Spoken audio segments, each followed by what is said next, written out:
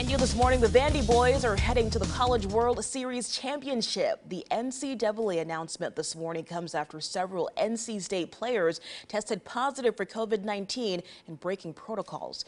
Now, this is video from the Dores Friday game against the Wolfpack, which they won 3 to 1.